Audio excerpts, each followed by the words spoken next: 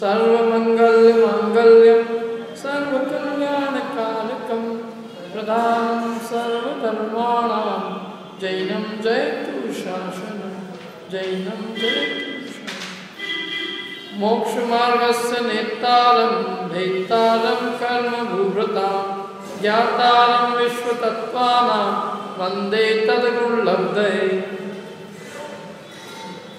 जीव और अजीव तत्व की अब तक चर्चा हुई और अब आश्रव तत्व की चर्चा है। आश्रव वैसे तो दो प्रकार का है।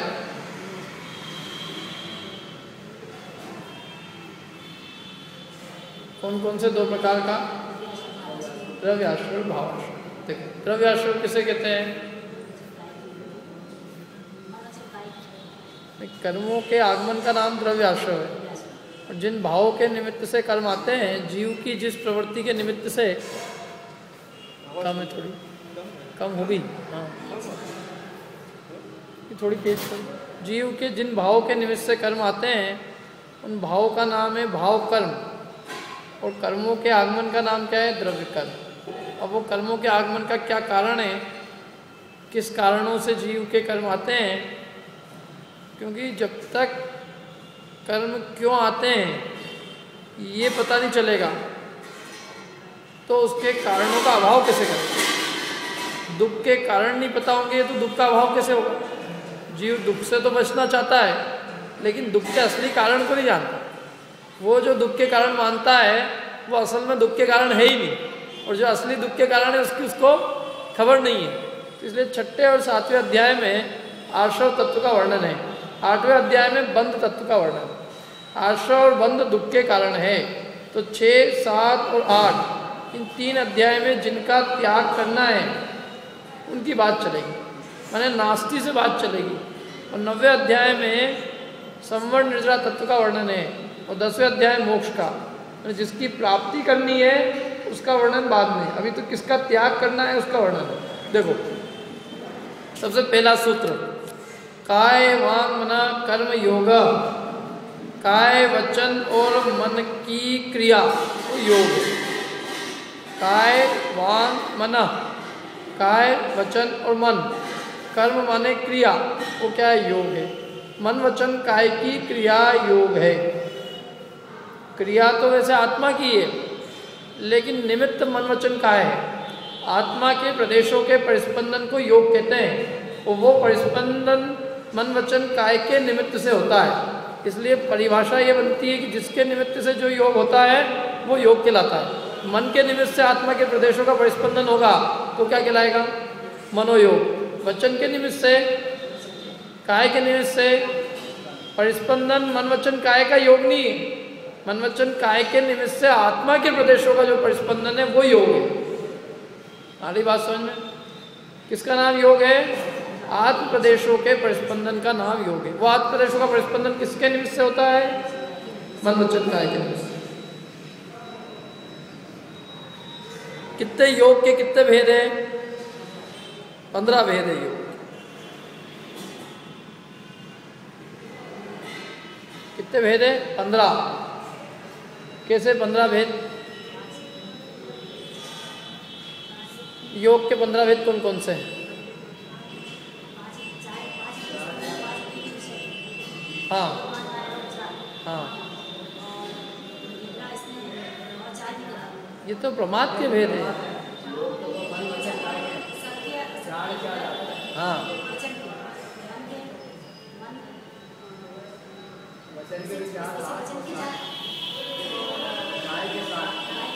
कौन कौन से?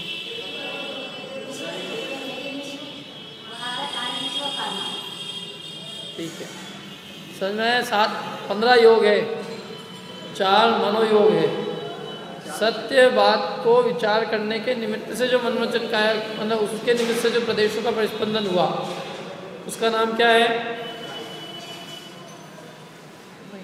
सत्य वस्तु का सत्य चिंतन पूर्वक आत्म प्रदेशों का परिस्पंदन सत्य मनोयोग। असत्य वस्तु का चिंतन, असत्य मनोयोग। सत्य भी और असत्य भी है, उभय मनोयोग। जो न सत्य न असत्य, वो अनुभय। ऐसे वचन भी है। सत्य वचन रूप प्रवृत्ति, सत्य वचन योग ऐसे चारों में लगा लेते ऐसे कर्म, शरीर के काय योग भी सात है। कौन कौन से?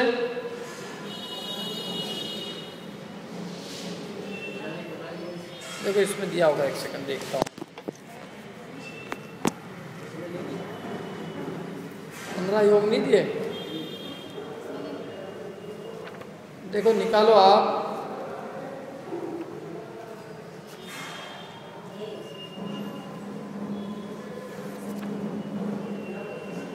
पेज नंबर एक सौ छप्पन। योग के पंद्रह भेद के नाम दिए। एक सौ छप्पन पेज मिला। योग पंद्रह, दिखा? चार मनोयोग, चार वचन योग, और सात काय। योग नाम दिए इनको। सत्य, असत्य, उभय, अनुभय, ये मनोयोग है। सत्य, असत्य, उभय, अनुभय, ये वचन योग है। काय योग? औदारिक काय योग? औदारिक मिश्र काय योग? बेक्रियक बेक्रियक मिश्र, आरक आरक मिश्र कार्मान कार्म बस, सात हो गए। अभी अपने कौन सा काय योग? अपने कौन सा योग चल रहा है अभी? औदारिक काय योग। अभी कार्मान काय योग विग्रह गति में होता है केवल। अभी नहीं चल रहा है वो। कार्मान का योग केवल विग्रह गति में होता है, उस समय केवल कार्मान शरीर होता है। जब अकेला कार्मान शरीर होता है, उस समय जो योग होता है, उस कार्मान शरीर के निमित्त से उसको कार्मान का योग कहते हैं। अभी अपने उदारिक शरीर है। उदारिक शरीर के निमित्त से जो योग होगा, उसका नाम उदारिक का योग। और जब उदारिक शरीर की पर्याप्ति पूरी नहीं होती जब तक, तब तक उसको कहते हैं औदारिक मिश्र का योग। इसे जब तक वैक्रियक शरीर की पर्याप्ति पूरी नहीं होती है, तब तक वैक्रियक मिश्र काय योग जब वैक्रियक शरीर पूरा हो जाता है, उसके बाद वैक्रियक काय योग आरक शरीर की पर्याप्ति जब तक पूरी नहीं हुई अंतर मुहूर्त तक के लिए तो कौन सा है? आरक मिश्र फिर पर्याप्ति पूरी होने के बाद आरक मतलब अंतर मुहूर्त अंतर मुहूर्त का काल है मिश्र का। और कार्मान का अधिक से अधिक काल है तीन समय। और औदारिक शरीर, औदारिक काय योग का काल है अनंत काल। नहीं, औदारिक काय योग का काल है कुछ कम बाईस हज़ार वर्ष। औदारिक काय? औदारिक काय योग आत्वारिक काय योग देखो, ऐसे होता है कि जो पृथ्वी कायिक है, उसका अंतर मुहूर्त तक तो औदारिक मिश्र काय योग होता है। और उसके बाद उसको मन तो है ही नहीं। पृथ्वी कायिक के मन है। पृथ्वी का एक के वचन है। केवल एक काय है। कौन सी काय है? औदारिक काय। तो उसका कौन सा योग रहेगा? औदारिक काय योग तो अंतर मुहूर्त कम कर दो उसकी उम्र में से। अंतर मुहूर्त तक औदारिक मिश्र था।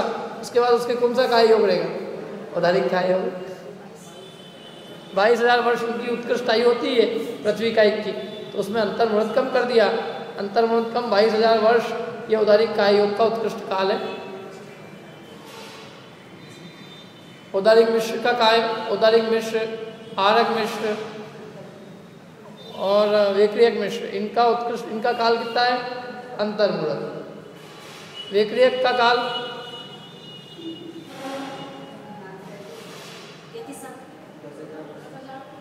अंतर मुहूर्त अंतर मुहूर्त में बदल जाएगा वो। जिसके वेक्रियक शरीर होता है, उसके मनोयोग और वचन योग भी तो है। एक अकेला ही काय योग तो ही रहेगा उसके। ये तो एकेंद्रीय, अकेला काय ही थी उसकी ऐसे आरक का काय, आरक काय योग का काल कितना है? आरक काय योग का? अंतर मुहूर्त आरक काय योग, आरक शरीर अंतर मुहूर्त होता है अंतर मुहूर्त मनोयोग का काल। अंतर मुहूर्त वचन योग का काल अंतर मुहूर्त बस एक केवल एक ही जगह ऐसी है बस। क्योंकि उसको और कोई और कोई चीज़ ही नहीं है उसके पास। अभी अपने कितने योग कितने योग हो सकते हैं अपने? कितने अपने योग में से एक समय में तो एक ही योग होगा, लेकिन अलग अलग समय में अपने कितने योग हो सकते हैं? अपन अपन पर्याप्त हो गए अभी तो अपन जब तक ज़िंदा रहेंगे, तब तक अपने कितने योगों में से कोई सा योग एक योग होगा? कितने योग हो सकते हैं अपने? कौन से, कितने में से एक होएगा? अपने भी कितने योग है? एक समय में तो एक होगा। कितने में से एक होएगा? काय योग में तो एक ही रहेगा। मनोयोग, चार मनोयोग, चार वचन योग और एक काय योग नौ काय योग नौ योग में से कोई एक योग होता अपने कौन से नौ? काय के चार नहीं, चार मन के, चार वचन के, एक काय का? ऐसा। ऐसे नौ में से कोई एक होगा?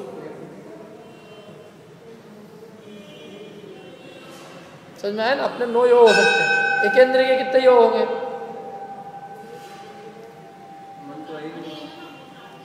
एक इंद्रिय के कितने योग हो सकते हैं? एक ही बस। हमेशा एक ही रहेगा। दो इंद्रिय के? कितने योग होंगे? दो इंद्रिय के रसना इंद्रिय है ना? तो रसना इंद्रिय के दो काम है, बोलने का भी और खाने का भी। वचन योग है, उसके अनुभव वचन। योग कितने हुए उसके? दो। अनुभय और उदारिक का तीन इंद्री के? तीन इंद्री के भी दो ही। चार इंद्री के, वही दो ही।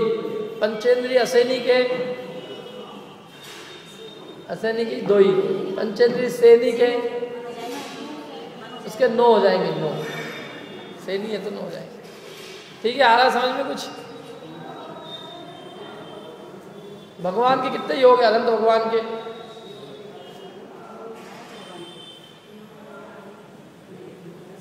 बताओ, थोड़ा सा सोच के बताना, इसका जवाब एकदम ऐसा सरल नहीं है।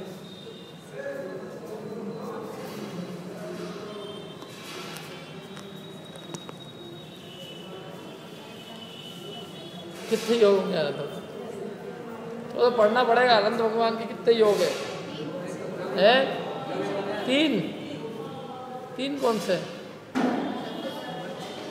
अरे दो मनोयोग भी उनके। सत्य मनोयोग अनुभव मनोयोग। दो वचन योग है सत्य और अनुभव। और एक काय योग है पाँच हो सकते हैं उनके। और ज़्यादा करो तो उदार यदि समुद्घात करेंगे तो उदार एक विश्व कारमान भी हो सकते हैं। सात काय योग हो सकते हैं उनके। सात योग हो सकते हैं। कितने? सात। चलो, अब हो गया ये। थोड़ा कठिन हो गया, आप सरल करते हैं अपन इसको। सत्य और अनुभव उभय नहीं होएगा। असत्य होएगा तो उभय होएगा। जब उनके असत्य है ही नहीं तो उभय कैसे होगा? सत्य और अनुभय। सत्य अनुभव मनोयोग सत्य अनुभव वचन योग और औदारिक औदारिक, मिश्र और कारमान तीन का योग अयोगी के कितने योग है? अनुभव माने जो सत्य भी नहीं, असत्य भी नहीं।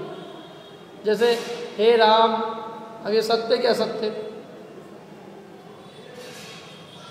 टेबल। टेबल तो हे राम, किसी को बुलाया, इधर आओ। ये जो भाषा है, अनु अनुभव भाषा है।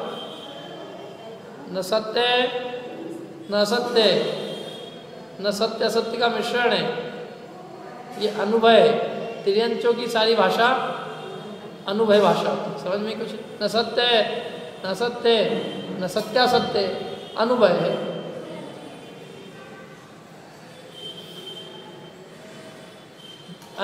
दिव्य ध्वनि अनक्षरात्मक होती ना, वो भी अनुभव है।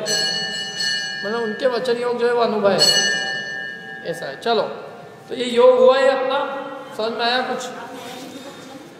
एक के अयोग के कितने योग है? एक भी नहीं। शरीर से योग नहीं। योग मतलब परिस्पंदन। क्योंकि अयोगी है ना वो। अयोगी की कोई योग नहीं। वो अयोगी तो योग से रहित हो गए।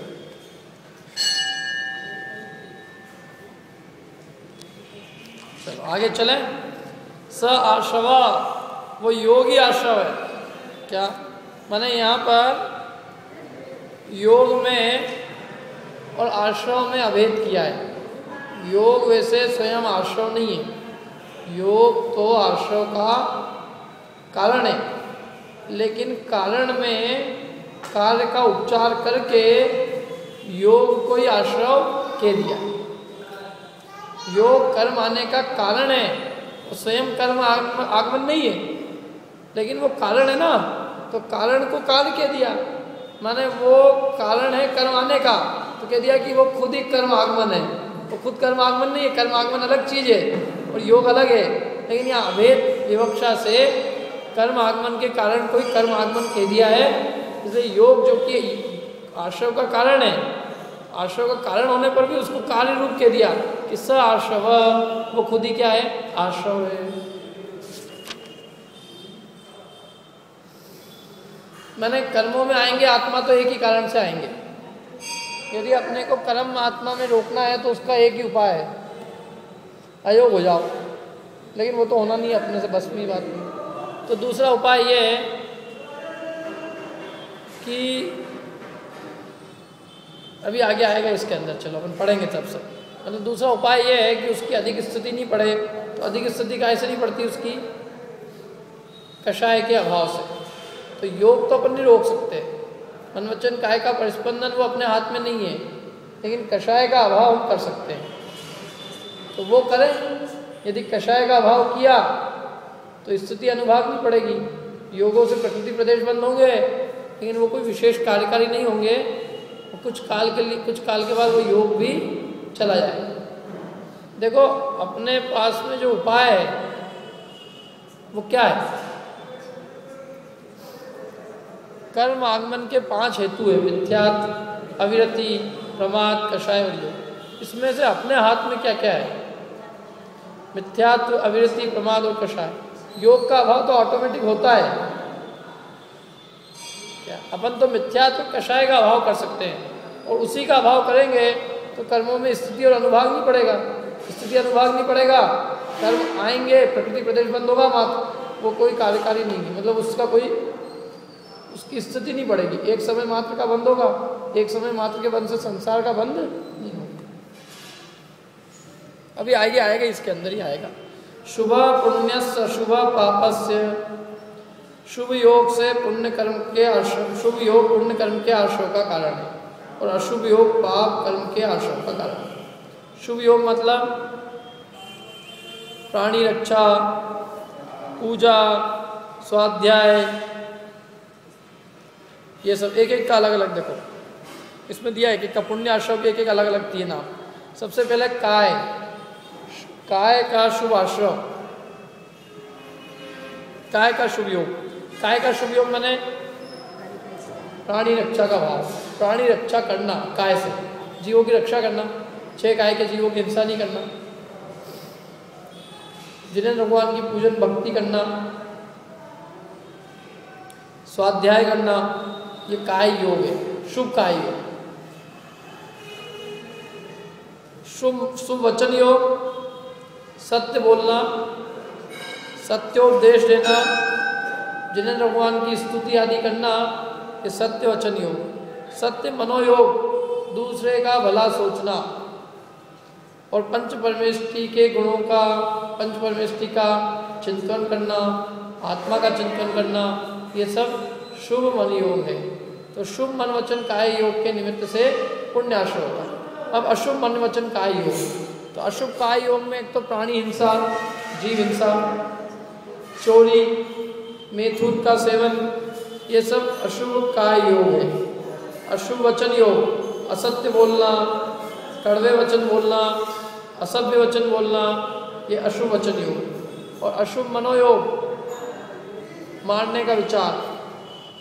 काऊ की धनहानि, किसी जय हार, किसी की धनहानि चिंतन करना, किसी की हार हो जाए, किसी का बुरा हो जाए, किसी को मारने का चिंतन ईर्षा भाव रखना एक दूसरे से परस्पर में, ये सब क्या है? अशुभ मनोयोग चलो तीन बंदर है, तीन बंदर याद रखना आपको हमेशा। गांधी जी के तीन बंदर मालूम है? कौन कौन से? ऐसे अपने भी तीन है। राग द्वेष कर तार कथा कब हूँ न सुनीजे। राग द्वेष कर तार कथा कब हूँ न देखीजे। राग द्वेष कर तार कथा कब हूँ न बोलीजे।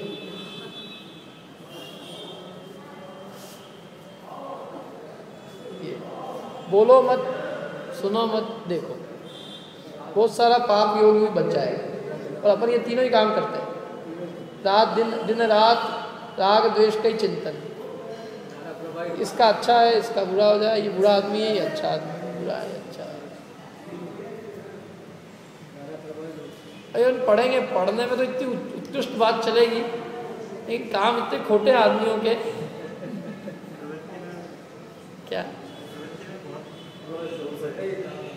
क्या करो? मारने का ये क्या है? जैसे ये टीवा टीवा टीवी है ना, टीवा टीवी बीमारी। अरे टीवी बीमारी तो सब तो अशुभ मन योग वचन योग काय योग उसमें कौन सा शुभ मनोयोग हो रहा है? और शुभ वचन योग है ना शुभ काय योग अशुभ ही है।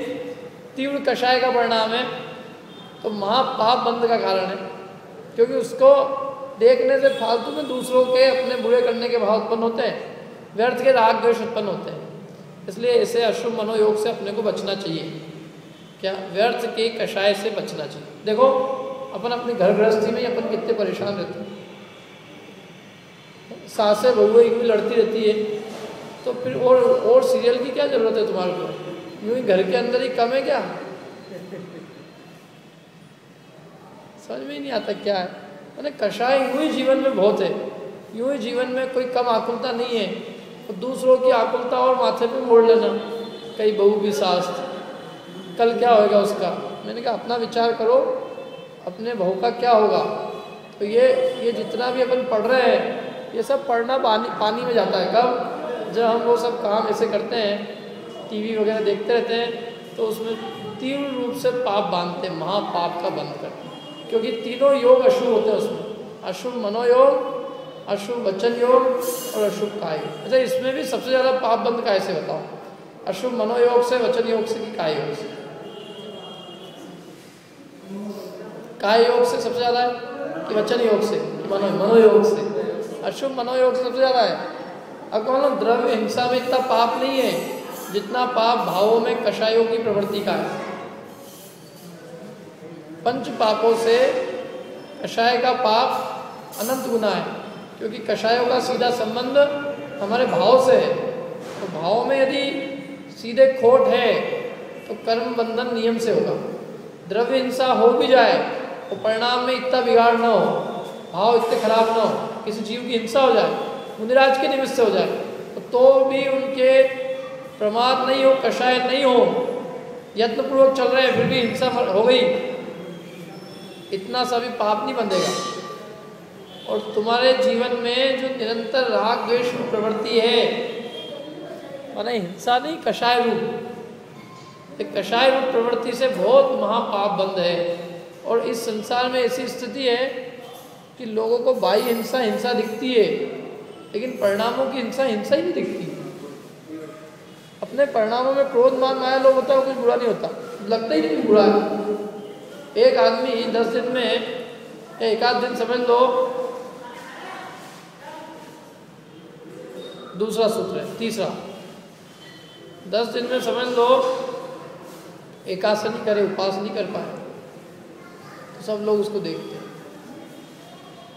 तो फिर वो खुद ही विचारा नहीं हो तो एक आध दिन तो कैसे भी करके ठोक ही देता तो लोग क्या कहेंगे मतलब इस पर सबकी नज़र है और परिणामों पे किसी की नज़र नहीं। और जो असली कर्म बंद है वो परिणामों से हम मुँह की, मुँह में नहीं जाए कुछ चीज़, जितना उसका ध्यान रखते हैं, उतना अपने चित्त में कोई खोटी चीज़ न जाए, उसका ध्यान रखें। चित्त में कुछ भी चलना था क्या मैंने हमने मैं कहता हूँ, एक घंटे खाने में इतना दोष नहीं है जितना एक घंटे तुमने जो कचरा देख देख के अपने दिमाग में जो कचरा भरा है ना, उसका जितना दोष है। एक आदमी ने एक घंटे खाया और एक आदमी ने एक घंटे टीवी देखी। किसको ज़्यादा पाप लगेगा खाना तो शरीर की आवश्यकता है और भक्ष ही खा रहा है। और ये तो अभक्ष है ना, इसकी आवश्यकता नहीं है। ये तो अपने राग के वशीभूत होकर कर रहा है, कषाय के वशीभूत होकर कर रहा है। लेकिन वो किसी को नहीं लगता। है आदमी उपवास कर ले और टीवी भी देखता है चलेगा वो उपवास नहीं करे, भले मंदिर में ही बैठा रहे। पाँच मिनट जाके दो रोटी खाया है, सब लोग क्या आएँगे भाई क्रिया तो अपना सारा खेल, अपनी सारी दृष्टि वही है। मैंने क्रिया जड़ है अपन, बिल्कुल। और कुछ नहीं। और फल लगता है, परिणामों का लगता है। आपको मालूम पाप के कितने स्थान हैं? सुना आपने पाप के स्थान? उत्तरोत्तर अनंत अनंत गुना पाप। सबसे कम पाप काय में लगता मालूम? नहीं मालूम? नहीं सुना आपने? देखो, सुनाता हूँ सबसे कम पाप लगता है, पाप ही लगता है, पुण्य नहीं लगता, नहीं तो कोई उल्टा समझ के बैठ जाएगा सबसे कम पाप न्याय नीति के विषय भोग भोगने में लगता है। उससे अनंत गुना पाप अन्याय, अनीति के विषय भोग भोगने में लगता है। उससे अनंत गुना पाप पाँच पापों का लगता है। उससे अनंत गुना दोष चार कषायों में, चार कषाय भी पढ़ना। और उससे अनंत गुना पाप अज्ञान पूर्वक आचरण करने में। उससे अनंत गुना पाप अग्रहित मिथ्यात्व के सेवन में। और उससे अनंत गुना पाप ग्रहित मिथ्यात्व के सेवन कहाँ लिखा है? ये ब्रह्मचारी रायमल जी ने चर्चा समाधान में लिखा है। ऐसे पुण्य के भी पंद्रह स्थान हैं। जैसे पाप के कितने स्थान हुए? एक आध छूट तो नहीं किया सात हो तो सात पुण्य के पंद्रह स्थान सुने कि नहीं सुने? नहीं सुने। सबसे कम पुण्य। लेकिन ये पुण्य लगता है, छोड़ मत देना कोई। जैसे वो सब पाप के ही थे, पुण्य के नहीं थे। ऐसे ये पुण्य के बता रहा हूँ, मैं पाप के नहीं बता रहा हूँ। सबसे कम तीर्थ यात्रा तो छोड़ दे बिल्कुल नहीं, वो तीर्थ यात्रा करके आगे के जो चौदह बता रहे वो करना। तीर्थ यात्रा में सबसे कम क्यों लगता है? क्योंकि तीर्थ यात्रा में मौज मज़ा होता है तीर्थ यात्रा में एक तो चलने में, फिरने में बहुत होती और रात दिन खाने की व्यवस्था, पीने की व्यवस्था, थक जाता है आदमी। मतलब थक के चूर हो जाता है। रात दिन भोजन आदि के विकल्प, संकल्प, विकल्प बहुत चलते हैं।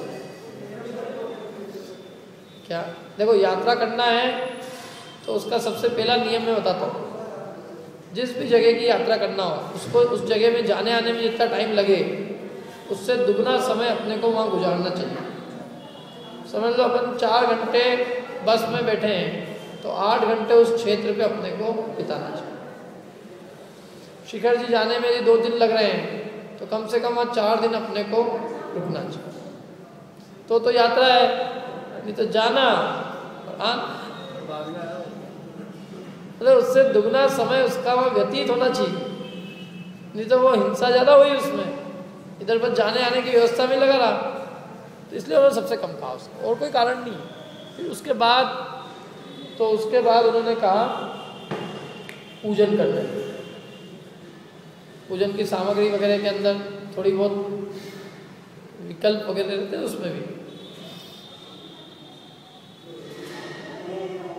चिटाक आई कि नहीं आई, बादाम आई कि नहीं आई, ये सब आई। हाँ उसमें जी कभी कभी उसमें जीवोत्पत्ति भी हो जाती है, उसको देखना भी पड़ता है सोधना पड़ता है, साफ़ करना पड़ता है। कोई सामान्य काम नहीं है भी थोड़ा थोड़ा में जीव लग जाते हैं उसके अंदर। तीसरे नंबर पे उन्होंने कहा, स्त्रोत पाठ पढ़ना। स्त्रोत पाठ पढ़ते ना, अपन भक्तावन स्त्रोत भी हो जैसे, या स्वयंभू स्त्रोत, विशाखार स्त्रोत एक ही भाव स्त्रोत। अब आजकल तो ये सब बंद ही हो गए वैसे। स्त्रोत स्त्रोत पाठ, सारे स्त्रोत। जो अपने रखे, देवागम स्त्रोत, स्वयंभू स्त्रोत, क्या? महावीर अष्टक स्त्रोत, ये सब स्त्रोत, संस्कृत वाले संस्कृत के हो तो हिंदी में समझ में आ जाए, जैसे भी हो। परमानंद स्त्रोत, स्वरूप संबोधन स्त्रोत, ऐसे स्वरूप संबोधन ग्रंथ भी है स्त्रोत भी आज क्या है वो? परमानंद स्त्रोत है अकलंक देव का तो ऐसे बहुत जोरदार स्त्रोत है ऐसे मैंने ये पुरानी भक्तियाँ हैं, जिसमें विशुद्ध तत्व की भी बात है और भगवान की भक्ति भी। तीसरे नंबर पे, चौथे नंबर पे, सामायिक पाठ पढ़ना। सामायिक पाठ। छह प्रकार के पढ़ते ना, शाम ये दिया, चौथे नंबर। क्योंकि उसमें कोई भी आरंभ सारंभ नहीं है। पाँचवें नंबर पे प्रथमा नियोग का स्वाध्याय। छठे नंबर पे चरणा नियोग का स्वाध्याय। उससे ज़्यादा कर्णा नियोग का स्वाध्याय। उससे ज़्यादा द्रव्या नियोग का स्वाध्याय। और उससे ज़्यादा विशुद्धि जो सुना है, उसको धारण करना। चिंतन करना। नहीं, धारण करना ना उसका चिंतन मनन करना वो है उसको धारण करना, चिंतन मनन करेगा तो उसकी धारणा होगी धारणा मतलब उसको धारण करेगा। और फिर उसके बाद में कायोत्सर करना, शरीर से ममता छोड़ना। और अंत में है ध्यान ध्यान करना। क्या वो चार छूट गए इसके अंदर, दो चार।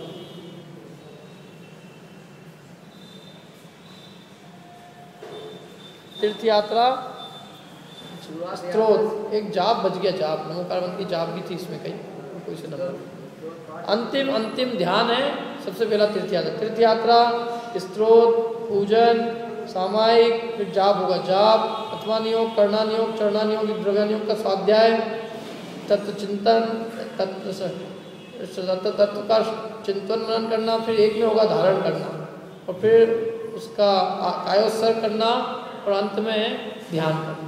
ऐसे ही उत्तरोत्तर इनमें विशुद्धि अधिक अधिक। जनरल नियम है, ये देखो है, राजमार्ग है ये, कोई अपवाद भी हो सकता है। लेकिन सामान्य नियम उसमें एकाग्रता ज़्यादा करनी पड़ती है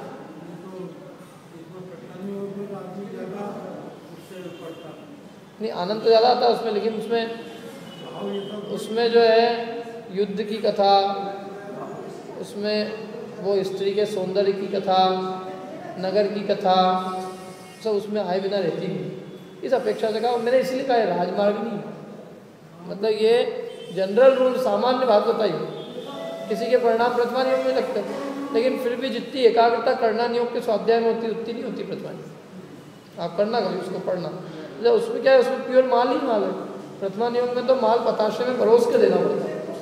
लेकिन करना नियोग में सीधे माल आता है। द्रव्या नियोग तो है ही भेद विज्ञान पर। तो इसलिए हाँ एक में है वो भेद विज्ञान, एक में है भेद विज्ञान भी उसी के अंदर है वो चौदह के भेद विज्ञान, ध्यान, स्वरूप का ध्यान सब उसके अंदर पंद्रह पॉइंट में तो ये सब है। अब इसमें अपन लगा लो, अपन काय में करें चर्चा सब ध्यानत राय जी ब्रह्मचारी राय ध्यानत राय जी का नहीं? ब्रह्मचारी राय जी का है।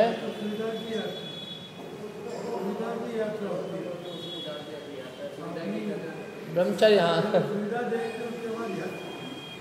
अभी तो बात ही अलग है। ब्रह्मचारी रायमल जी का ग्रंथ है चर्चा समाधान। मेरे से पूछ लेना बाद में फ़ोटो कॉपी करा के सबको दे दूँगा मैं इसकी, इस पन्ने की। तीर्थ यात्रा करना कि नहीं करना भी तो उन्होंने कहा तीर्थ यात्रा करो। तीर्थ यात्रा करके आगे की जो चौदह चीज़ें वो करो। क्योंकि तीर्थ यात्रा करने का सबसे बड़ा लाभ क्या है, देखो बताता हूँ। कि अपन अपने घर गृहस्थी के संकल्प विकल्पों से बच जाते हैं। अपन घर गृहस्थी में रहते हैं तो वो विकल्प आए बिना रहते हैं। दुकानदारी के विकल्प आए बिना नहीं रहते महिलाओं को अपनी घर गृहस्थी के विकल्प आए बिना नहीं रहते। तो उससे क्या हो जाता है कि वो सारे संकल्प विकल्पों से दूर हो जाते हैं। एकाग्रता उसमें अधिक होगी इसके लिए। बाकी वो इस तरह से करे तो मतलब वहाँ जाके धर्म आराधन करे तो जाके वहाँ केवल देख ली जगह अच्छी बढ़िया टिक मार्क हो गया, ये यात्रा भी हो गई वो यात्रा यात्रा नहीं यात्रा करना मतलब उस क्षेत्र पर रुककर आत्म आराधना करना, वहाँ रुक के स्वाध्याय करना, वहाँ रुक के पूजन करना, वहाँ रुक के जाप देना, वहाँ रुक के कायोत्सव करना, वहाँ रुक के ध्यान करना, वहाँ रुक के सामायिक करना तो तो ठीक है। और वहाँ रुके भी नहीं, सब यहाँ आ जाए तो कुछ तो ये बात मैंने किस लिए बताई थी कि अपने परिणामों में जो पाँच पाप है ना पाँच पाप से ज़्यादा दोष काय में? कषाय में। और ये टीवी वगैरह है, इसमें सीधे कषाय होते हैं। अपन एक तरफ़ भक्ष छोड़ते हैं और अभक्ष का सेवन कर रहे शरीर में ताकत नहीं हो, और बीमार पड़ा हो तो भी आदमी के नहीं साहब मैं एक जने को देखने गया था तो वो बिल्कुल एकदम बिस्तर कहा, और भैया कैसे हो? साता में तो हो। हाँ ठीक। मैंने कहा, तुम्हारी हालत तो बहुत ख़राब हो रही मंदिर के सब पार्ट वाट भी सब छूट रहे हैं। बोला क्या करो? पिछले साल तो तीन का ही नियम था, इस साल पाँच का हो गया। मैंने कहा, तीन का और पाँच का कैसे हो गया? बोले, पिछले साल तीन में जुलूस निकल जाता था अपनी बार उन्होंने पाँच का कर दिया पाँच के बिना जुलूस नहीं निकालेंगे। जब मर नहीं जाए आदमी जाए। आज के चक्कर में। चार हुए, चार जुलूस। चार चार हो गए थे। तीन तो उसने कर लिए थे। फिर तीन के बाद चौथा और करना पड़ा, क्योंकि वो पता चला पाँच का नियम बना दिया उन्होंने। पहले तीन में जुलूस निकाल देते थे। मतलब तपस्वियों का सम्मान होता था तो तीन का होता था। अब उन्होंने क्राइटेरिया थोड़ा बढ़ा दिया, पाँच का। तो मैंने उसने बोला बिल्कुल ईमानदारी से। उसने कोई छल कपट नहीं किया, उसने बेचारे बोल दिया, साहब अब चार तो ही दिए, और एक दिन में क्या है, एक दिन कैसे कर लेंगे अपन। मैंने कहा, भैया, वो सही है थोड़ा शरीर को भी देख लो। और मैंने कहा अपना धर्म ध्यान छूटे अपने को आकुलता हो जाए वो काम नहीं करना। अरे नहीं साहब अपन तो जैसे भी होगा अपन निकाल देंगे। निकाल दो। चार हुए ना पांचवा और निकालना एक दिन और निकालना। जुलूस पाँच पे निकलेंगे। क्राइटेरिया बना रखा हम लोग वो उसने दो पिछली बार गलती मैं तीन को बोला था तीन तो ही गए थे मेरे। तो वो अपन उस पर कितना अपना ज़ोर है बोलो। और परिणामों में अभिप्राय में क्या छुपा है अपने? वो तो पाँच का नियम है तो पाँच करना। तो वो मेरा मेरा कहना ये है कि मतलब अपना इस पर पूरा फोकस है। ये शरीर की जितनी शक्ति उतना तो करना ही एकासन उपवास, इतना बन सके, उसमें कोई दिक्कत ही नहीं ये तो सहजता से बन जाते जो जो आगे बढ़ बढ़ के और शरीर की कीमत पे भी, मैंने धर्म ध्यान छोड़ने की कीमत पे करना तो जहाँ तक बने, वहाँ तक तो बहुत बढ़िया ही है। अपने परिणाम धर्म में लगाने के लिए। चलो, आगे चलते हैं अपन, देखो। स कषाय अकषाय यो सांप्रायिक गिरियापथ कषाय सहित स कषाय और अकषाय।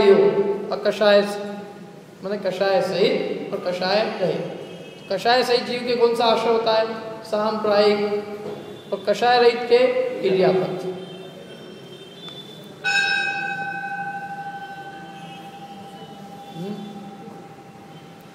ये क्रम से आश्रव के रूप में। आश्रव तो दोनों ही है सांप्रायिक और इरियापत लेकिन कषाय से जीव के जो आश्रय है, उसका नाम है सांप्रायिक और कषाय रहित जीव के इरियापत इरियापत में क्या है? देखो इसके भेद दिया अपन देखो आप पढ़ो। स्वामी सांप्रायिक का सकट इरियापत का अकषाय। कौन से गुणस्थान तक सांप्रायिक आश्रय है?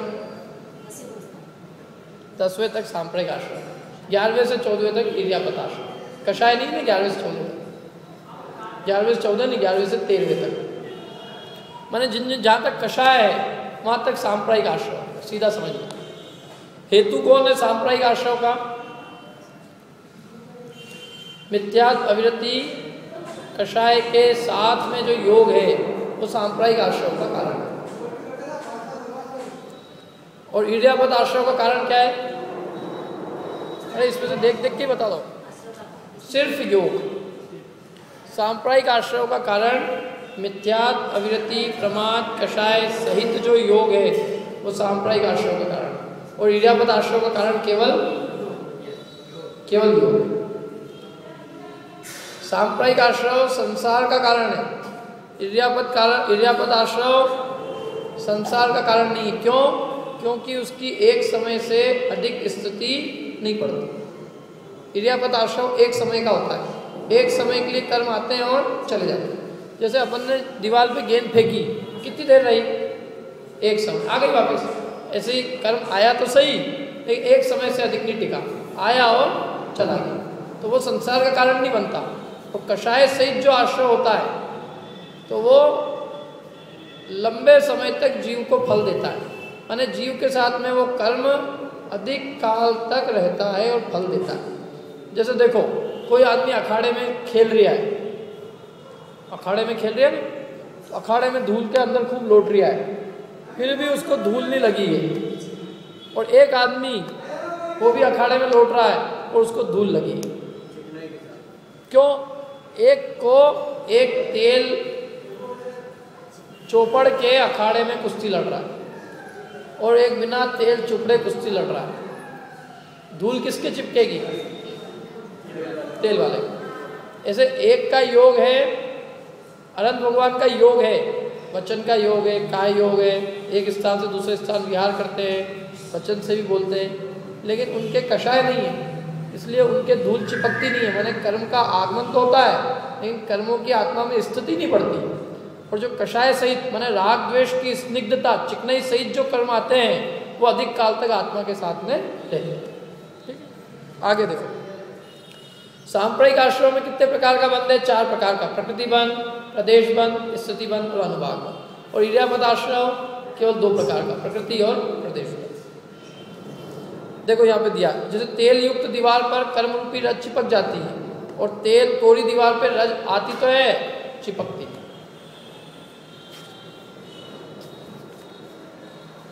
इसलिए जिनको कर्मों के आश्रम से बचना हो तो सांप्रदायिक आश्रम नहीं करे। इडियापद आश्रम हो जाए तो कोई दिक्कत नहीं है।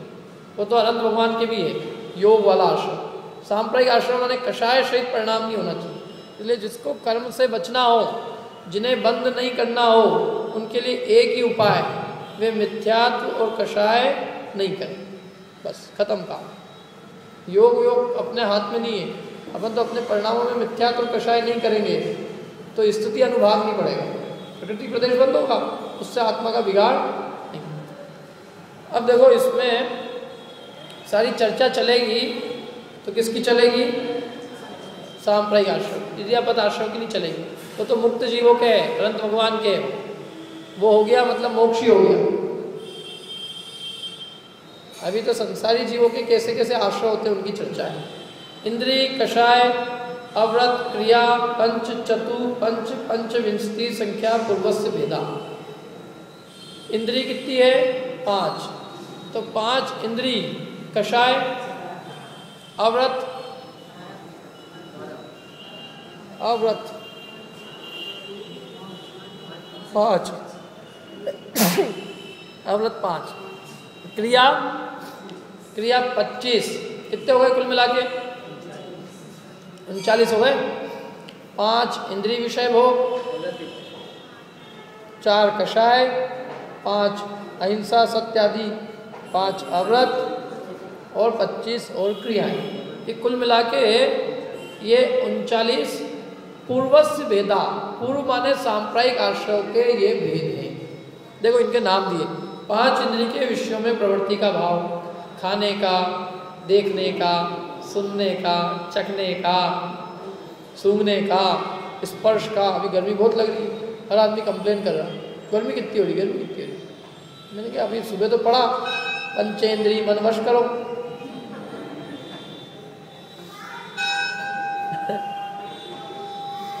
जो भी किया अपन ने। परंतु पंचेंद्री के विषयों की प्रवृत्ति जो है, अपना बार बार उपयोग जा रहा है ना उस पर तो वो आश्रय का कारण है। भले ही भोग नहीं भोग रहे हैं अपन। लेकिन अपना अंतरंग में आरती का भाव है कि नहीं? ठंडी हो जाए अच्छा है। ये तो बस नहीं चलता अपन लोग नहीं तो मंदिर भी एसी वाला बनवा दे अपन एसी फुल एयर कंडीशनर ऐसे चार कषाय। चार कषाय। क्रोध, मान, माया, लोभ, ये भी चारों कषाय भी सांप्रायिक आश्रय का भेद है। अव्रत, पाँच अव्रत मतलब पाँच पाप, ये भी सांप्रायिक आश्रय के कारण। अब पच्चीस क्रियाएँ। अब ये पच्चीस क्रियाएँ कौन कौन सी है? पाँचे पचे पच्चीस। फाइव इंटू फाइव पच्चीस। पाँच प्रकार की, पाँच पाँच क्रियाएँ अलग अलग कितने प्रकार की? पाँच प्रकार की। हर एक प्रकार की क्रिया कितनी कितनी है? पाँच। तो पाँच इंटू पाँच कितनी हो गई? पच्चीस। देखो सबसे पहले। पाँच विभिन्न क्रियाएँ अलग अलग तरह की। एक तो सम्यक्त क्रिया। तो सम्यक्त क्रिया, क्यों? सम्यक दर्शन, सांप्रदायिक आश्रय का कारण। है सम्यक क्या आश्रय का कारण है। यदि सम्यक दर्शन भी आश्रय का कारण है तो सिद्धों में भी सम्यक दर्शन है। उनको भी कर्म बंद होना चाहिए। देखो, सम्यक को बढ़ाने वाली जो क्रियाएँ हैं, मैंने देवशास गुरु की भक्ति, जो शुभोपयोग पूर्वक है, मैंने जितना भी सम्यक के साथ में जितना भी शुभाचरण है, यदि वो कषाय के साथ है भले ही अनंतानुबंधी चली गई इन तीन कषाय तो है ना? तो उस तीन कषाय के साथ में, जो कि सम्यक के साथ रहने वाला शुभाचरण है, वो भी है सांप्रदायिक आश्रम, क्रियापद आश्रम। उसको मतलब शुभोपयोग को कहा है। दो कषाय चौकड़ी के अभाव में, या तीन के अभाव में, या एक के अभाव में, फिर भी जो रागादि भाव जितना है ना तो भले ही सम्यक तो बढ़ाने वाली क्रिया में लग रहे हैं, लेकिन फिर भी अभी इरियापत आश्रम नहीं हुआ है। ऐसे मिथ्यात्व को पुष्ट करने वाली क्रिया, कुदेव को गुरु कुशास की भक्ति। क्या? लोक मूर्ता, धर्म मूर्ता, गुरु मूर्ता, देव मूर्ता, ये सब उल्टी सुलटी क्रिया है। अभी रोड तो खाए होंगे ना सब लोगों ने? रोड तीज पे है। पता ही नहीं चलता मेरे को धर्म खाने का नाम है कि छोड़ने का नाम तीज पे छोड़ेंगे ये तीज पे खाएँगे, पंचमी पे छोड़ देंगे। तो छोड़ना का नाम धर्म है कि खाने का नाम धर्म? किसका नाम धर्म? बताओ। रोड अच्छी मोटी, घी वी चौकड़ गए और उस पर गिलकी गिलकी से खा हुआ आराम से रोड तीज बनती है लोग। ये पता नहीं कहाँ कहाँ से क्या क्या चीज़ें अपने में आ गई है। ये सब मिथ्यात्व को बढ़ाती है और कुछ नहीं। क्योंकि हमारे यहाँ तो त्याग और संयम का नाम धर्म है। खाने पीने का नाम धर्म नहीं अभी तो तुम रोड तीज पे यही खा रहे हो, रोटी बना के खा रहे हो। कल से गणेश चतुर्थी पे लड्डू भी खा लोगे। और वो पंचमी भी किसी के नाम पे मना के पाँच पाँच लड्डू भी खा लेते खा ये ये धर्म खाने का नाम, हर चीज़ में। अक्षय तृतीया है, खुद गन्ने का रस पी जाएँगे। उन्होंने तो आहार दान किया था, खुद को देते दान क्या पता नहीं क्या आदतें हो गई ये क्या क्या वही तो मैं कह रहा हूँ तो ये क्या बढ़ा रही है? ये सम्यक को बढ़ाने वाली क्रिया नहीं हो सकती। मिथ्यात को बढ़ाने वाली क्रिया है। उसी दिन खाना, खाने से भी मना नहीं कर रहा हूँ, देखो आप लोगों को, क्योंकि खाना तो है आपको, पर दूध को खा लोगे तो कुछ गलत हो जाएगा चौथ को खा लोगे तो गलत हो जाएगा। क्या निमित्त? क्या खाने का भी कोई निमित्त होता है या त्याग करने का निमित्त होता है? उसको पर्व के नाम पे, रोड की कथा है, कथा में भी अपन ने उससे अपन ने यही पुष्टि करी, फलाने दिन उस देवी ने रोड खाया तो उसका सब निकल व्रत का नाम धर्म है, खाने पीने का नाम धर्म नहीं हो सकता। ये विचार की बात है, देखो। अपन को हर चीज़ में विचार विवेक तो करना पड़ेगा। चाहे धर्म के नाम पे कुछ भी प्रवेश कर जाए, लेकिन अपन अपनी बुद्धि और विवेक से विचार करेंगे कि वास्तव में धर्म खाने पीने का नाम किसी भी प्रकार से हो ही नहीं सकता। प्रयोग देखो, शरीर आदि द्वारा गमन आदि प्रवृत्ति, सब प्रयोग है। शरीर से गमना गमन करना इधर उधर दौड़ना, भागना, चलना, फिरना, सब प्रवृत्ति। समाधान क्रिया। संयमी का असंयम के सन्मुख होना। संयमी था, असंयम के सन्मुख हो, अथवा हम कोई संयमी हो और उसका संयम के सन्मुख करें।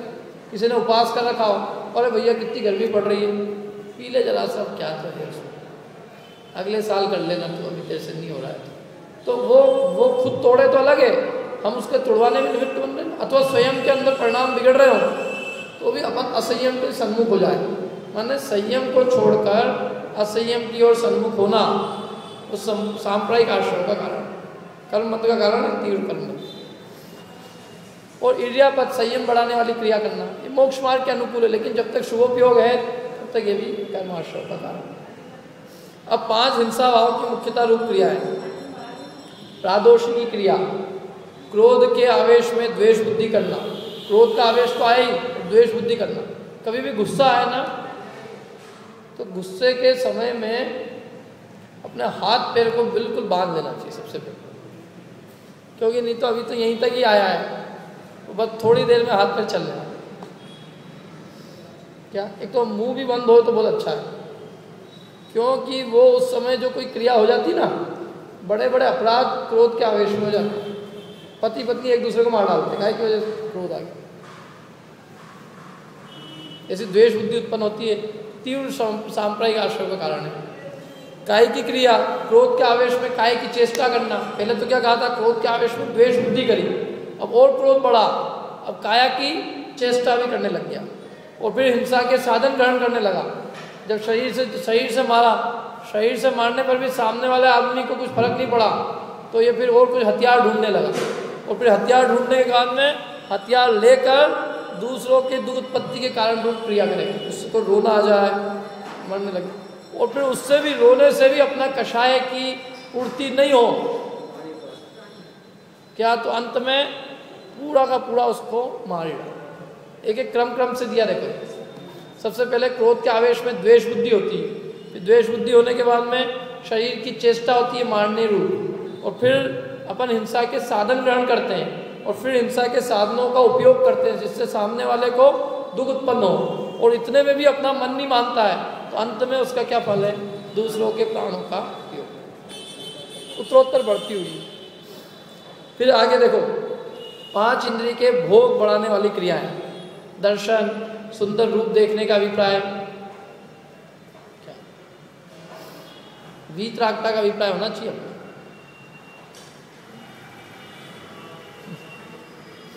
सजावट वजावट देखने में कम और अपनी आत्मा के उपयोग, भगवान को देखने में उपयोग ज़्यादा लगाए तो अच्छा है। स्पर्शन, स्पर्श करने का भाव।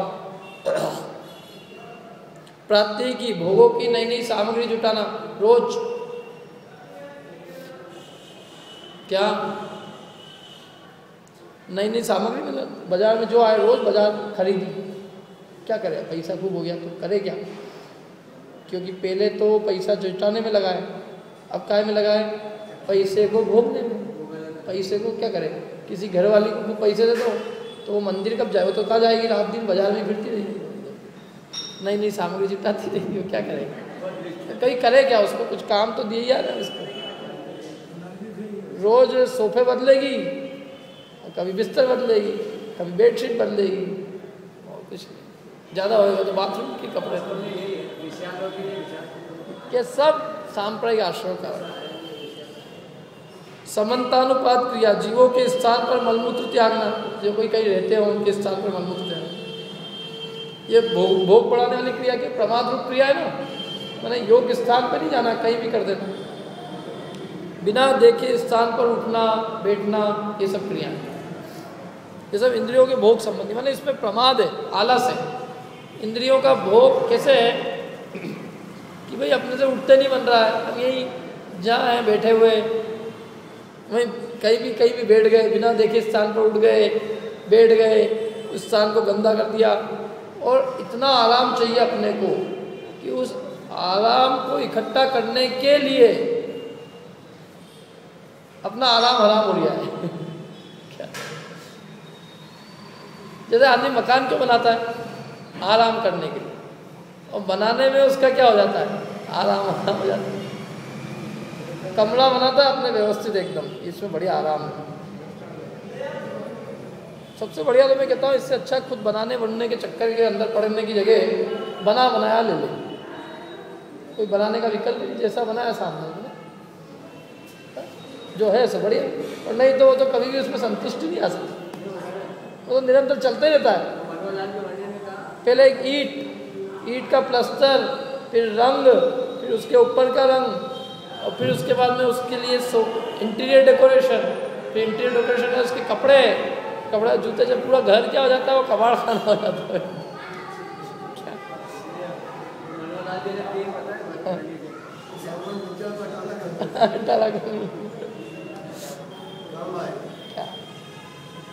तो ये सब मतलब भोगो भोग की क्रियाएँ हैं। महाकर्म बंद के कारण है और कुछ नहीं। देखो पाँच धर्माचरण में दोष कारक मतलब जो धर्माचरण में दोष उत्पन्न करती है, अपने को धर्म आचरण से रोकती स्वहस्त क्रियाएँ, हीन पुरुषों योग्य काम नहीं करना। हीन पुरुषों योग मैंने जो काम दूसरे कर सकते हैं, वो काम खुद ही करने लग जाए।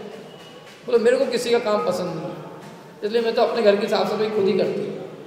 तो वो तो सब ठीक है घर की साफ़ सफ़ाई में तेरा बहुत उपयोग लगता है, लेकिन थोड़ी अंदर की भी सफ़ाई कर ले। कि अंदर की मतलब अपने आत्मा के परिणामों की भी तो कोई सफ़ाई करनी है। हमारी एक रिश्तेदार है, वो पहले रोज़ मंदिर सुबह सुबह दर्शन करने आते थे। बिल्कुल बराबर पूजन, कपाट सब करने तो बहुत दिनों तो दिखी नहीं वो। एक दिन दिखी वो एक दो बजे मेरे को। मंदिर में बैठा था मैंने।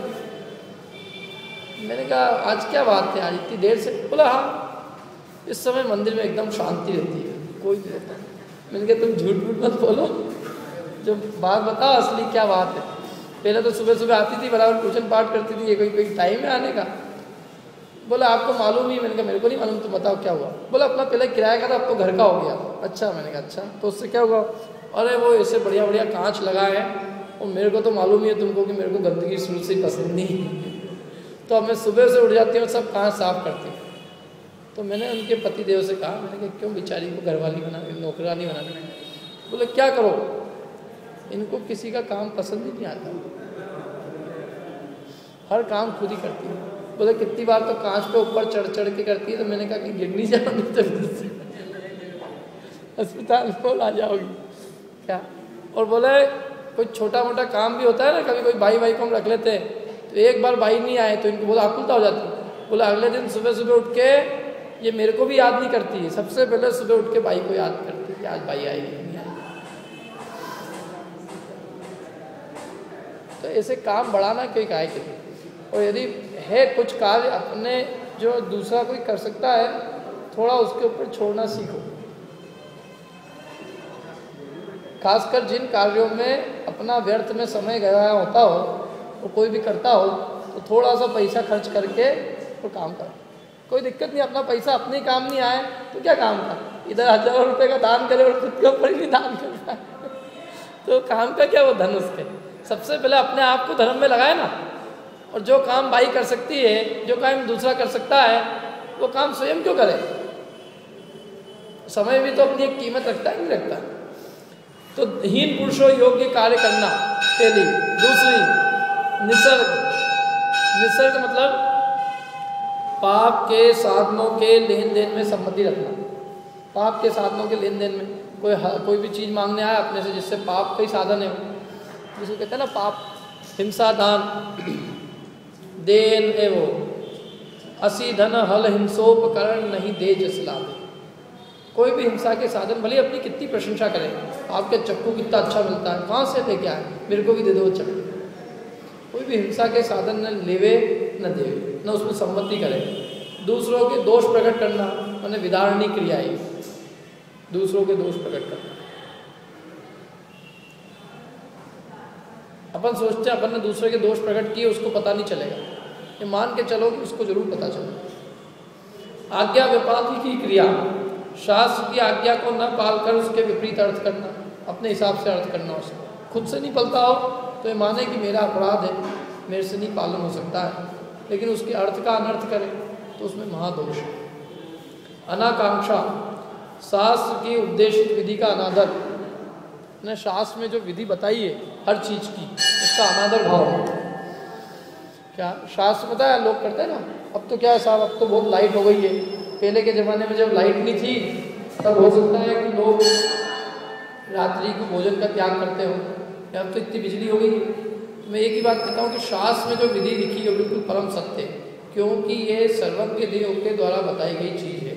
सर्वज्ञ देव को सब मालूम था कि लाइट भी आ जाएगी और इतनी तरक्की भी हो जाएगी। लेकिन उन्होंने जो विधि बताई है बिल्कुल वैसे की वैसे चलना पानी छानने की जो विधि है वो बराबर दही बनाने की विधि है बराबर क्या? रसोई की विधि है बराबर जो काम की जो जिस विधि से बताइए उस विधि का आदर रखना, अपने मन में उसके प्रति आदर का भाव होना, यहाँ जो शास्त्र में विधि बताइए तो बराबर है। अपनी डेढ़ अक्ल उसमें नहीं लगाना। डेढ़ अक्ल मतलब कि भाई क्या है इसमें? समय के हिसाब नहीं चलेगा वो। जो विधि है, जो बराबर। पानी छानने की जो विधि है, वही चलेगी। तीन काल में वही रहेगा। रात को यदि जीव की हिंसा होती है तो हमेशा होती है। चाहे पहले होती है, आज भी होती है। आज भी मच्छर पैदा हो जाते हैं। असंख्या जीव की तो इसलिए शास्त्र की उद्देश्य विधि का अनादर नहीं करें। शास्त्र के एक भी अक्षर का यदि अपने हृदय में अनादर भाव है तो समझ लो साक्षात जिनेन्द्र भगवान के प्रति अनादर है। जिसको वाणी का आदर नहीं है, उसको भगवान का भी आदर अब पाँच धर्म धारण से विमुख करने वाली क्रिया है। आरंभ क्रिया। आरंभ सारंभ माने कोई भी छेदन के, भेदन के, हिंसा के कार्यों में स्वयं रत होना, हर्षित होना, मज़ा आना। कितने छोटे छोटे बच्चे होते कीड़े देख के उसको मारने के लिए दौड़ो ऐसी बुद्धि। तो कई लोगों को आलम में ही मज़ा आता है। कुछ ना कुछ काम दो। कुछ खोदने का काम दे दो, कुछ खाने बनाने का काम दे दो, कुछ काम दो। हमारे वहाँ वहाँ पे, वहाँ अमेरिका में जैसे कभी कोई प्रोग्राम होता था महावीर जयंती का उसका तो कमेटियाँ बनती थी। तो कमेटी के अंदर अलग अलग तरह की कमेटी थी। आवास कमेटी, भोजन कमेटी, पूजन कमेटी, स्वाध्याय कमेटी।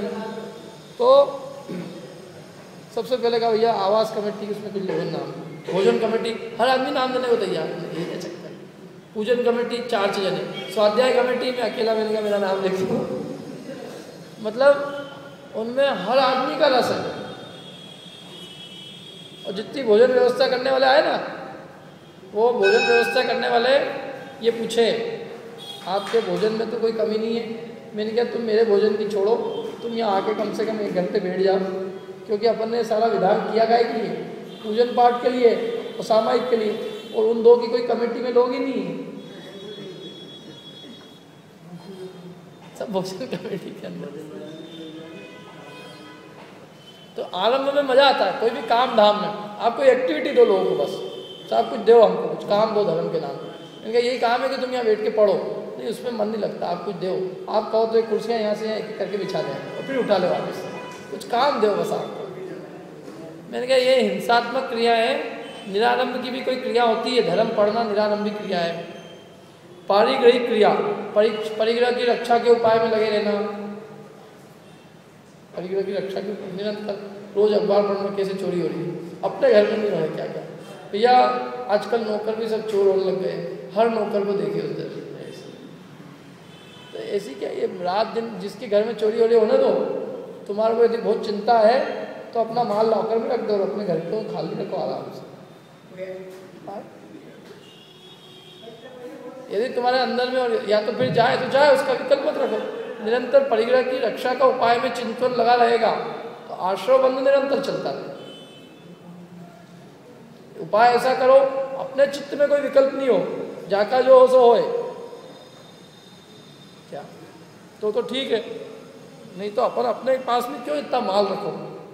माल संभालने के लिए बहुत लोग हैं दुनिया के अंदर, उनको संभालने दो। अपन तो निश्चिंता से, कोई कहे, आपके घर में चोरी हो रही है तो ले जान दो उसको, और भी कुछ नहीं हो तो हम बताए, देखा आगे। तीसरा है माया। माया मतलब ज्ञान, दर्शन आदि के विषय में छल करना। छल कपट पूर्वक धर्माचरण करना, ज्ञान, दर्शन आदि के विषय में छल करना, जानते हुए ये बताना, मैं नहीं जानता। नहीं जानते हुए बताना कि मैं जानता हूँ ये सब मिथ्या। अगली ये मिथ्या दर्शन क्रिया है। मिथ्या दृष्टि की क्रियाओं की प्रशंसा करना। उन लोगों की कोई भी काम की प्रशंसा करना। अरे साहब, इनका काम ऐसा है। आजकल जेनी तो सब ऐसे हो गए। तो महापाप का बंद होता है इससे। अपन भी जैनी है। वो कोई व्यक्ति यदि दोष लगाए तो उससे जैन धर्म बुरा नहीं हो जाता। ये व्यक्ति का दोष है। त्याग रूप परिणाम नहीं होना। त्याग रूप परिणाम ही नहीं होना। भोगने के बाद कोई भी चीज़ त्याग का कह दो। मैं एक जने को देखने गया था, उसकी, उसको, उसका, उसके लिए फ़ोन आया मेरे पास में कि वो, उनको डॉक्टर ने मना कर दिया है और आप तुरंत आ जाओ, कभी भी जा सकते तो मैं गया तो मैंने उनसे पूछा घर वालों से, मैंने कहा, इनकी कुछ त्याग व्याग है क्या? बोले, नहीं, कोई चीज़ की भी त्याग नहीं तो मैंने उनसे कहा, मैंने कहा, एक काम करो तो रात्रि भोजन छोड़ दो। तो वो पहले तो सुन रहे थे, आँख नीचे तो लोगों ने कहा कि नहीं साहब, इनको इतना मत कराओ। तो मैंने कहा अच्छा इनके मन की बात पूछने के लिए कहा? मैंने कहा, चार दिन के लिए, चार दिन तो उसके लिए भी उन्होंने मना कर दिया, साफ़ आप चार दिन के लिए भी मैं रात्रि भोजन जमी कर छोड़ने को तैयार उसने मना किया और मैं तुरंत उठा और चला गया। मैंने कहा कोई मतलब नहीं है, इनकी गति कोई भगवान की आगे नहीं सिखा सकती। मैं इनको चार दिन के लिए कह रहा बोले, कुछ एक परसेंट रुचि नहीं मैंने क्या होगा इससे? मैंने मैंने सुनाना, मैं सुनाऊँगा तो मेरे प्रति और कषाय होगी बेचारे की गति नहीं बिगड़ती होगी तो बिगड़ जाएगी और परभाव में मेरे को और कुछ करेगा ही आदमी आके। मैं नहीं सुना सकता ऐसे लोग। मैं तो ऐसे लोगों को जिसको देख के हृदय प्रफुल्लित हो जाए, उसका मन अपने को देख के वो आनंदित हो जाए, ये तो कह रहा है, कौन बीमारी आ गई? इसके हृदय में क्या परिणाम चल रहा है? और चार दिन में तो कोई बिगड़ नहीं रहा था ना? चार दिन आलू प्याज छोड़ने में क्या जा रहा था? फिर मैंने नीचे उनके घर वालों से पूछा, मैंने कहा, इनको पता नहीं कि क्या हो रहा है? अरे साहब सब डॉक्टरों ने कह दिया सबने कह दिया इनको। पर भी इनको फिर भी अभी भी लालसा है, कुछ आशा है कि अभी कुछ और जी और उसी दिन चले गए। जिस दिन मैं देखने गया था, मैं सुबह गया था मैं एक बजे करीबन पाँच बजे तक चल जाना ही था तो क्या? हंड्रेड परसेंट अरे आप अपने अपने से क्या होगा? कोई कोई कैसेट लगाए किसी हर कैसेट को बंद कर दो। और अपने जैन समाज में ऐसी स्थिति है। क्या करो? कोई कुछ नहीं कर सकता है तो त्याग में परिणाम नहीं, बिल्कुल एक परसेंट। तो ऐसे ऐसे भाव है मतलब मरते दम तक भी कुछ चीज़ छोड़ने को तैयार नहीं और सब बातें करा लो आप। और दूसरी बात करिए जैसे, तीर्थ क्षेत्रों की यात्रा की। हाँ करिए बनेडिया जी के दर्शन किए। हाँ कौन है मूल लाए भगवान? तो इतनी बीमारी की हालत में ज़ोर से चिल्ला है अजित नाद होगा। यूँ सब कर लिए, लेकिन जहाँ बात आती इसकी, बड़ा मैंने कहा अभी जो भी परिणाम रहा हो इनका उस समय कम से कम, इतना के क्या है कि भाई तीर्थ यात्रा वगैरह जो जिसमें मन लगे, बोले, सर, अभी आपके सामने पाँच मिनट बात करें फिर ये भी नहीं करेंगे। बोले, हो गई यात्रा भी बहुत। क्या एक बात है, जिसने जीवन भर किया हो व्यवस्थित रीति से तो परिणाम लगे। नहीं तो कैसे लगे? अंत में किसी को अपना आलू प्याज का त्याग कराओ। किया ही नहीं हो तो उसको उपयोग ही नहीं जाता उसको। वो कहता है, त्याग की बात मत करो, और सब बात कर सकता हूँ। अब देखो, इसमें भी बहुत अंतर पड़ता है। ये तो सब सामान्य रूप से आश्रव के भेद का है। अब इसमें विशेष बात करते हैं। तीव्र मंद ज्ञात अज्ञात भाव अधिकरण वीर विशेष तद विशेष इनमें तीव्रता की अपेक्षा मंदता की अपेक्षा। भले एक ही काम दो जने कर रहे हैं, लेकिन एक का परिणाम तीव्र है वही काम। कर एक का परिणाम मंद। तो बहुत अंतर है, एक जैसा नहीं है सब कुछ। असंख्यात लोक प्रमाण भेद हो जाते हैं असंख्यात तरह के भेद कर सकते हैं अपन मतलब इतनी तारतम्यता है तो जो जो अधिकता, तीव्रता अधिक है, त्यो तो बंद अधिक है। जो जो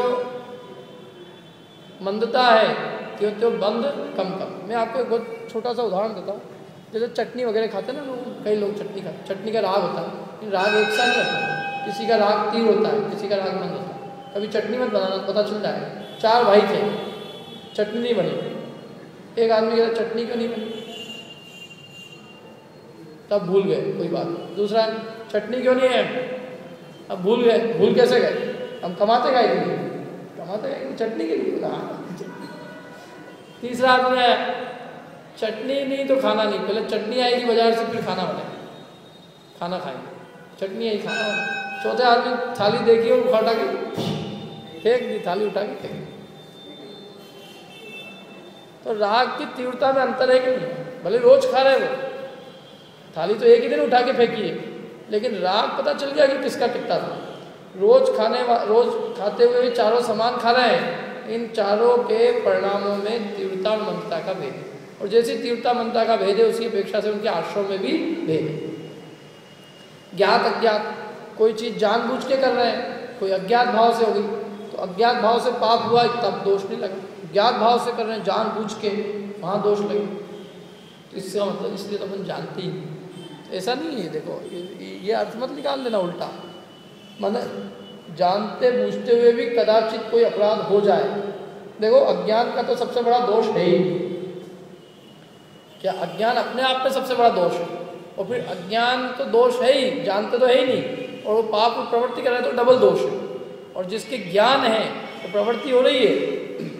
तो प्रवृत्ति हो रही तो वैसी आसक्ति नहीं होगी जैसी कि ज्ञान नहीं होने पर आसक्ति। इसलिए अंतर है। तो ज्ञात अज्ञात भाव तो मतलब होता है, कोई इरादे पूर्वक करना, कोई बिना इरादे के करना। क्या? किसी का इरादे खराब था, किसी का इरादा अच्छा है। ज्ञात भाव से कर रहा पता है कि आदमी इस काम में मर जाएगा तो भी किया उसने। उनको पता नहीं था साहब, गलती होगी अज्ञात भाव से। दोनों में अंतर है। मैंने परिणामों की अपेक्षा लगा लेना। अधिकरण, कौन सा अधिकरण है? अधिकरण साधन क्या है? क्या? जिस तरह का साधन है, उस तरह की हिंसा के परिणामों में भी तारतम्यता। वीर वीर से भी उसमें आश्रम में तारतम्यता बनती है। वीर मतलब कितनी ताकत से वो कर रहा है। कितनी ताकत से, जैसे हाथ पैर भी चलाए तो कितनी ताकत से। जो भी काम कर रहा है मैंने, कितनी ताकत से कर रहा है, उसका वीर अंदर का कितना उछल रहा है। जैसे शादी ब्याह करते हो तो कितना वीर उछलता है। बीमार भी हो जाए तो भी करें। और यहाँ यहाँ तो स्वस्थ भी हो तो खड़े खड़े ही सो जाए आराम लोग के भैया, इनको बिठा दो नहीं तो कम से गिरी पड़ेंगे। तो ऐसा शक्ति के अंदर से बहुत भेद पड़ता है। इनमें आश्रव की तारतम्यता में भेद पड़ता है। किन किन छह बातें कही। कौन कौन सी? तीव्र मन दो ये हो ज्ञात अज्ञात और अधिकरण भी। इन छह बातों से आश्रव में भेद पड़ता है।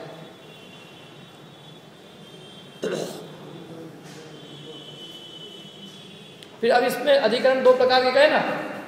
अधिकरण हुआ ना, अधिकरण की बात की तो अधिकरण दो प्रकार के। कौन कौन से? जीवाधिकरण, अजीवाधिकरण। अधिकरणम जीवा जीवा। अधिकरण दो प्रकार के, जीव और अजीव। जीव की पर्याय जीवाधिकरण, अजीव की पर्याय अजीवाधिकरण। अब जीव के अधिकरण देखो।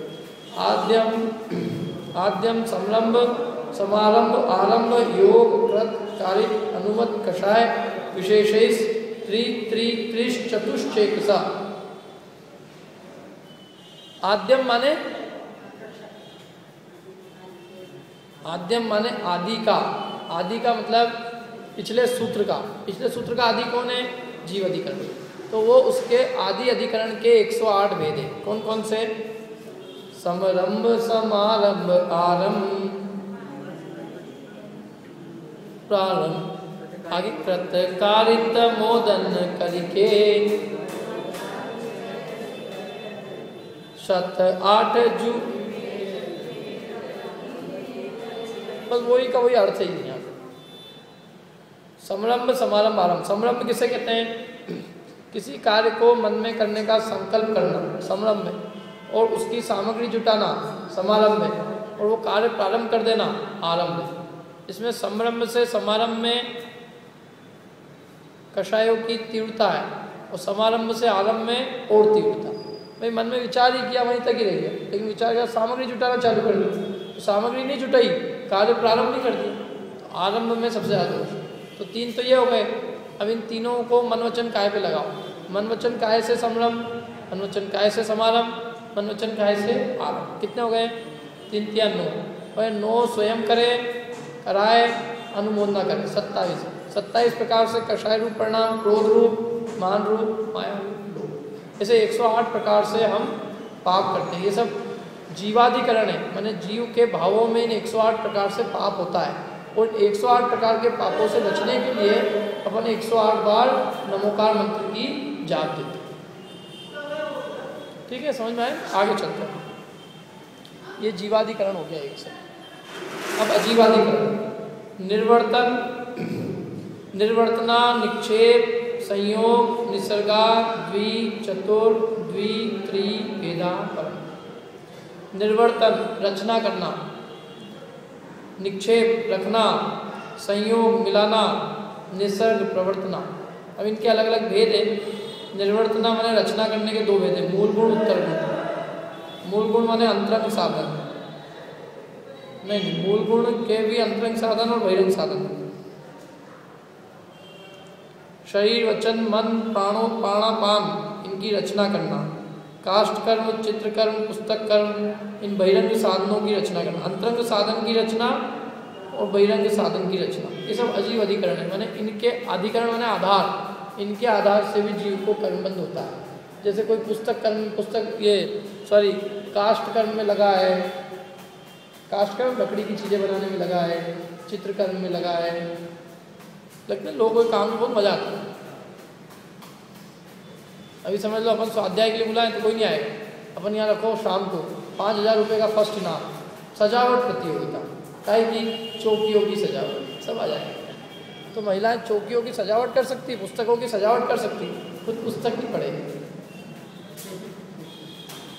तो ये है सब। प्रवृत्ति, अजीब अधिकरण की भेद है सब। मैंने सजावट में, दिखावट में, बनावट में, इनमें मन बहुत लगता है। मानना मानना हो, कुछ भी काम कराना हो, कुछ एक्टिविटी दो हर आदमी दिमाग की एक्टिविटी किसी को पसंद है कुछ न कुछ शरीर के अधिकरण है, अजीब अधिकरण है, ये सब कर्म क्या करना अपने अपने को यदि कुछ रचना करनी है तो अपने चैतन्य स्वरूप की रचना करनी आत्मा की विशुद्धि की रचना करो।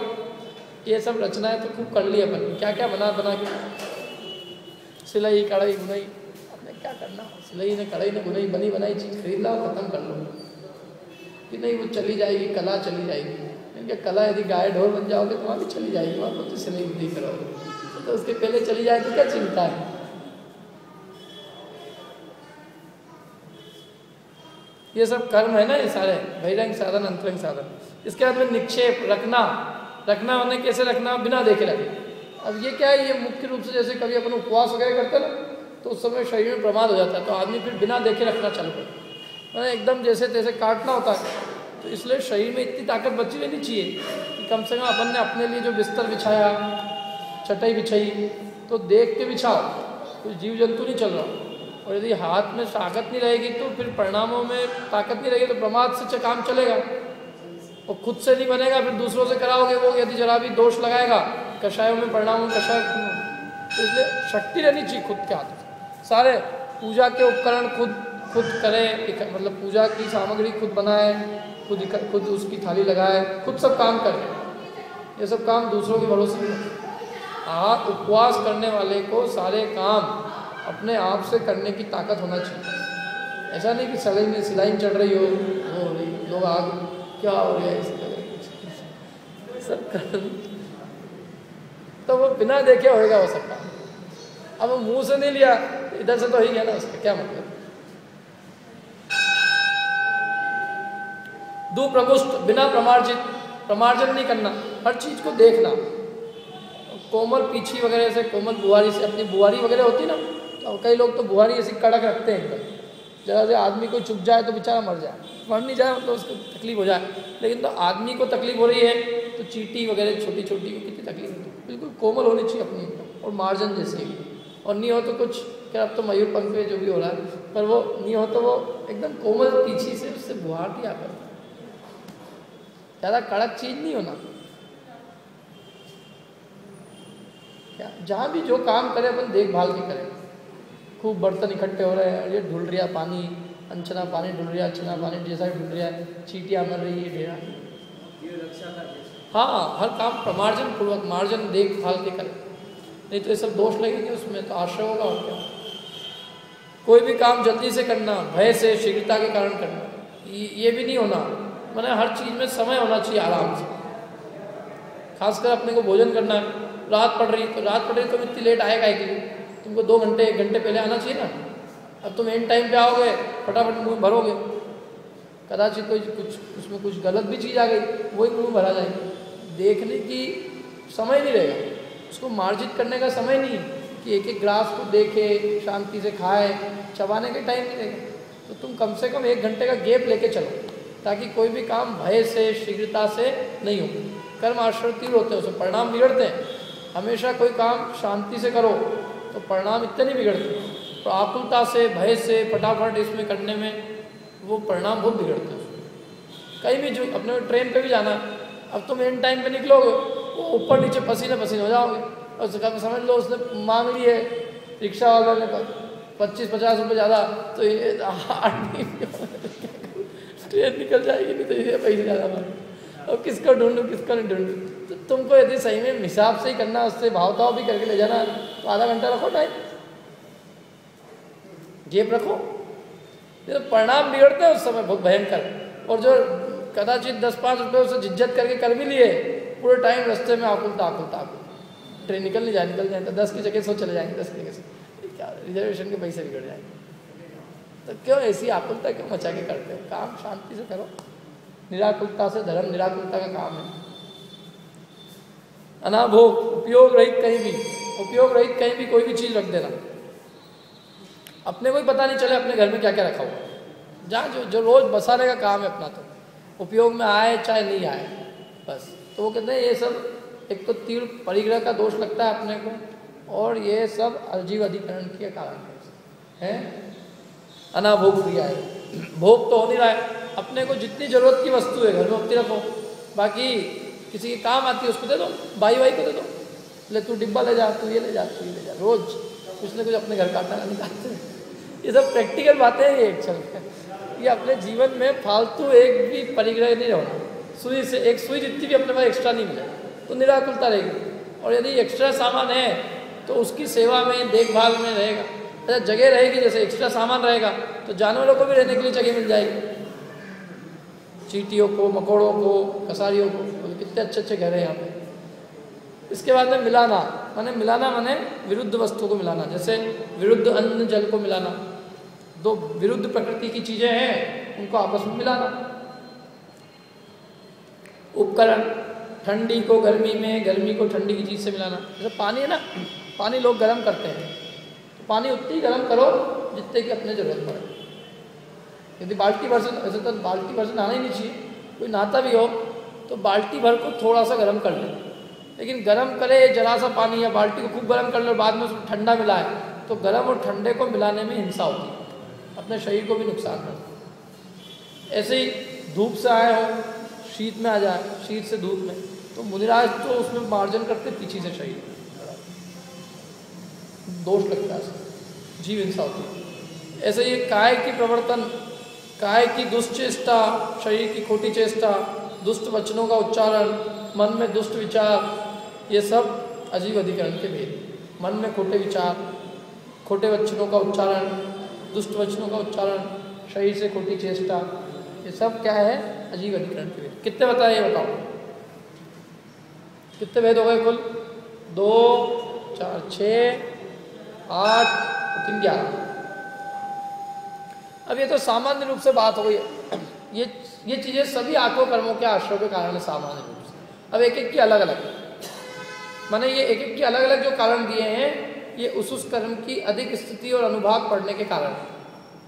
जो कारण दिए ना, जैसे ज्ञानावरण के आश्रय कारण तो इसका मतलब ये नहीं कि उससे ज्ञानावरण का आश्रय होगा। कर्म का आश्रय तो अपने को सातों का चलते ही रहता है, और किसी समय में आठों का। लेकिन जिस समय ये काम करते हैं उस समय उस उस कर्म का अधिक स्थिति और अधिक अनुभाग पड़ता। है ज्ञानावरण कर्म के आश्रय के कारणों में प्रवृत्ति करेंगे तो ज्ञानावरण की स्थिति और अनुभाग अधिक पड़ेगा समझ में पड़ रहा है बात? तत्प्रदोष निर्णय मात्सर्य अंतराय आसादन उपघाता ज्ञाना दर्शनावलियो तत् तत् मतलब ज्ञान और दर्शन के विषय में। प्रदोष प्रदोष माने तत्व की बात के प्रति मन में ईर्षा होना, नहीं सुहाना। सुहाना ही। अच्छी खासी बात चल रही, सुहाना ही नहीं, मन में नहीं सुहाना। अच्छी नहीं लगना। तत्व की बात। तो ये तत्व की बात नहीं सुहा रही है तो तत्व ज्ञान के आवरण करने वाले कर्मों का तीव्र स्थिति और अनुभव कर रहा है मैंने भविष्य में भी कभी तत्व ज्ञान की प्राप्ति नहीं होगी, उसको सुहा ही नहीं रही। जिसको जो चीज़ नहीं सुहाएगी, उसको चीज़ कैसे प्राप्त हो जाएगी? तीव्र ज्ञानावरण कर्म का आश्रय। निंदा जानते हुए भी छिपाना, नहीं बताना। मैं बता दूँगा तो इसको ही पता चल जाएगा। अपनी चीज़ आउट हो जाएगी सबको पता चल जाएगा। मेरे को कौन पूछेगा? तो कोई भी चीज़ जानते हुए भी छिपाना, जबकि ज्ञान का तो ऐसा है जो जो बांटो त्यो त्यो बढ़ता है। कोई भी चीज़ हो। मास्टर दूसरे आगे नहीं बढ़ जाए, इसलिए नहीं बताना। मास्टर होता ना, परस्पर में ईर्षा भाव। अंतराय। ज्ञान और दर्शन की प्राप्ति के साधनों की प्राप्ति में बाधा डालना किसी को भी ज्ञान दर्शन प्राप्त हो रहा हो तत्व ज्ञान उसमें किसी प्रकार से बाधा डालना कोई भी चीज़ से, ऐसा है, वैसा है, ये है, वो है। तो वो अंतरा है ना ज्ञान और दर्शन के आश्रय का। आसाधना दूसरों के द्वारा प्रकाशित होने वाले ज्ञान को रोकना। कोई कुछ बता रहा हो, अभी ज्ञान ही बता बात तो पर के द्वारा प्रकाशित होने वाले ज्ञान को हमने क्या किया? रोका। उपघात ज्ञान को अज्ञान के नष्ट करना। कोई आदमी ने अच्छी बात कही। अरे नहीं तो इसलिए इनका दिमाग खराब है। लेकिन बात तो अच्छी कही अरे नहीं नहीं बुद्धि फिर गई। तो उस ज्ञान को अज्ञान के, के किसी भी तरह उसको नष्ट करना ये सब ज्ञानावरण दर्शनावरण के आश्रय का।